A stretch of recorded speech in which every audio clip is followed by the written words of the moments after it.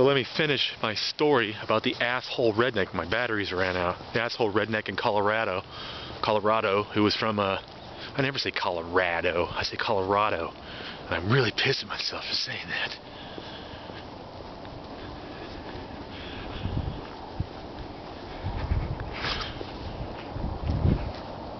Maybe not that mad, you know, but, uh, yeah, so he's like holding a buck knife, walking to the restroom, because I went around him really fast because he cut me off purposely, saw me there.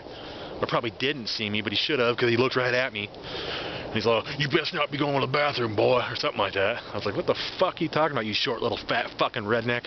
Just wanted to slam his fucking head in. You see, but he has this big buck knife on his side, and I wasn't planning on going to the restroom anyways.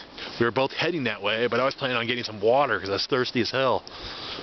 And, uh, so I kind of felt like a coward because I should have gone in the bathroom and been like, oh yeah, what are you going to do about it, fuckface?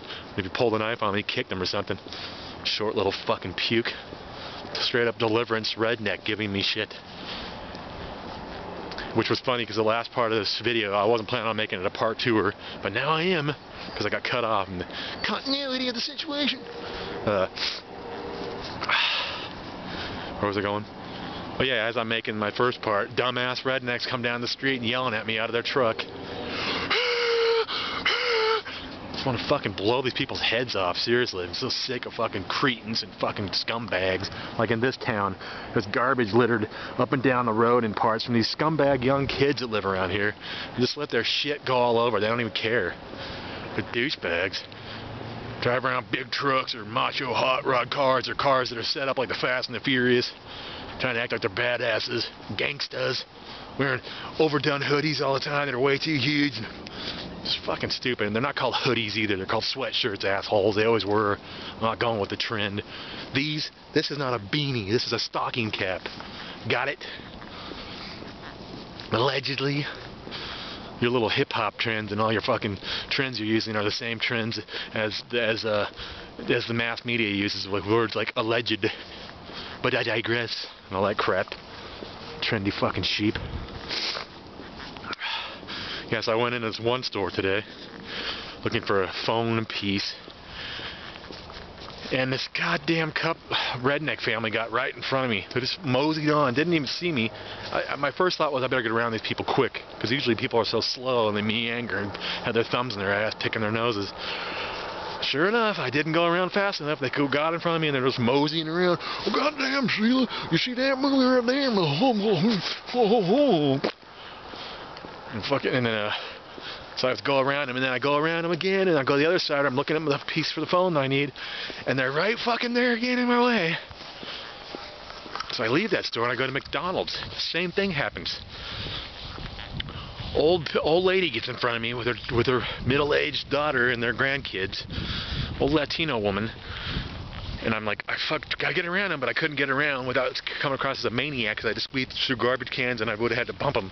So they get in line, and I literally have to wait there like 15 minutes to order my dollar cup of coffee with two creams, because this old lady orders after her daughter and their grandkids, and she's doing the old one coin at a thing out of the purse thing. 27, 28, 20 fucking 9. Did you notice I had an extra one in there that would make it 30? Just fuck it, I just lose hope for humanity, even, even supposed intelligent people. Because people are so unobservational. It seems like almost like having observational skills and, and uh, not interpretation, uh, uh, anticipational skills of where observation and anticipation seem almost more important than intelligence to me. It's like, and common courtesy, you mix those three together. Observation, anticipation, and courtesy to your fellow human beings, or fellow living creatures, or whatever. Hands are getting cold out here, it's pretty chilly. People aren't though. They're just fucking in their own world. I mean, just like I am right now, my own world, making my own little masturbatory, self-indulgent, me, me, me story video here. That's really how it is. And, and then people think they're not in their own world. Even people that are like in relationships, but they're really in their own world. Even people with kids. people you love. You're still in your own world. It's just how those people are making you feel. So you think when your when your relationship is going good, when you're getting along, it's a good relationship. When it's going bad, it's making you feel bad. So it must not be a it's a bad relationship then. There's something wrong with it because it's not making you feel good. See what I'm saying? Basically, I'm saying we're all self-centered, self-indulgent creatures on some weird survival level here. And I wish, as a whole, maybe more people realize that so we would treat everybody in our own personal capsules a little better when we bump into capsules to other capsules. Other other podular charged energy secular secoid movings about on this on this spaceship Earth in this one galaxy here amongst many universes and whatever which would obviously mean there has to be some kind of reason for that or something that's bigger than what we think and I'm not talking about religion or philosophy or science now. I'm talking about there really has to be some fact that there's something else than this. Because if this is all there is, that's a little depressing. Not the death part. The death part isn't depressing if this is all there is. Because death gets a bad rap.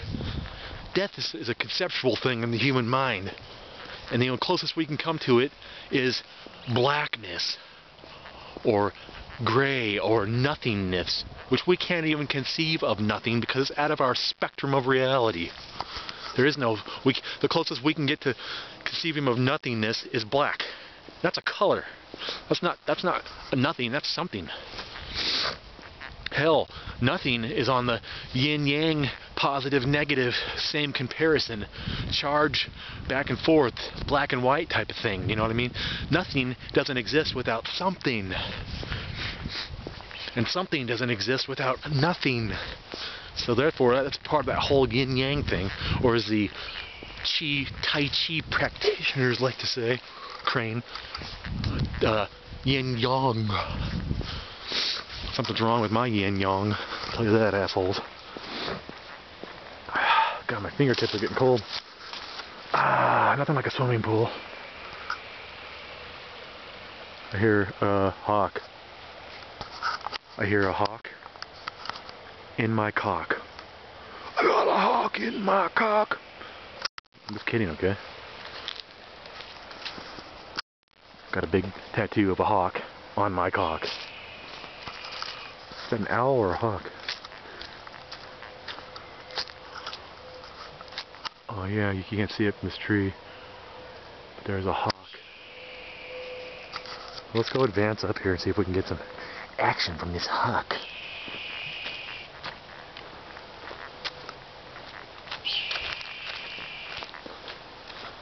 Oh, it's, it's, it's I, oh.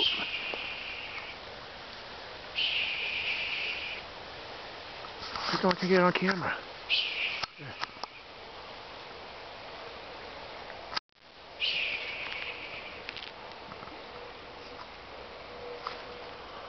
Saw me coming and got aggravated. It was just like me at the store. He's like, can this guy get off my face so I can think? Doesn't he have respect for his fellow creatures on the earth and their podule sacks moving about one another? Oh, you gotta watch out for dog shit, too. Because dog owners like to leave their dog shit everywhere. Because their precious little animals can do whatever they want. Dog owners. the most latent wannabe children owners on the planet. Training wheels for kids. That's why cats I like better, personally. They're independent. A cat will be like, fuck you, I'm doing my own thing. Or come and say, hey, how's it going? I'm actually kind of kidding. Well, there is some truth to that. But some cats are assholes. And some dogs are assholes. And some dogs are really nice. Some dogs are like so smart, they're like people. And some cats are so smart, they're like people. Frozen water.